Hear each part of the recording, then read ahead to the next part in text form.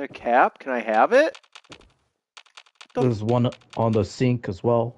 The fuck, Richard? There we go. There we go. Why can't I have the toilet cap? Maybe oh. throw a nade at it to uh, Oh yeah, that that makes sense. Like I'll ever fucking find that again, Marcus.